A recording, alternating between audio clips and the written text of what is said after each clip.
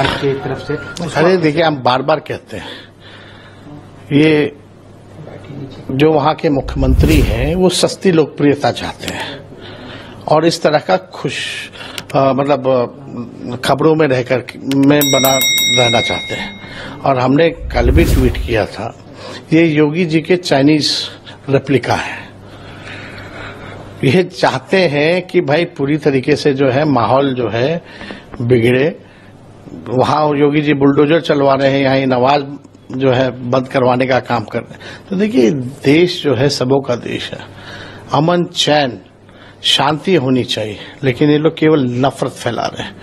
यहाँ बिहार में भी एक एमएलए या मंत्री कूद कूद करके बोल रहे थे कि मुसलमानों का हम जो है वोटिंग का अधिकार छीन लेंगे।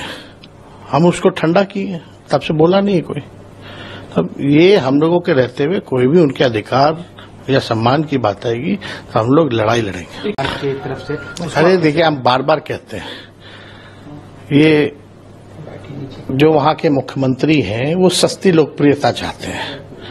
और इस तरह का खुश अ, मतलब खबरों में रहकर में बना रहना चाहते हैं। और हमने कल भी ट्वीट किया था ये योगी जी के चाइनीज़ रेप्लिका है।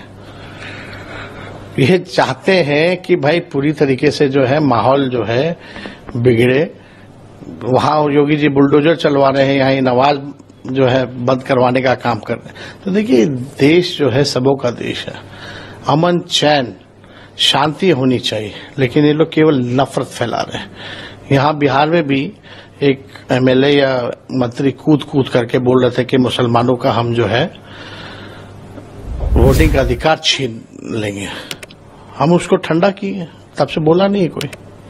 तब ये हम लोगों के रहते हुए कोई भी उनके अधिकार या सम्मान की बात आएगी तो हम लोग लड़ाई लड़ेंगे।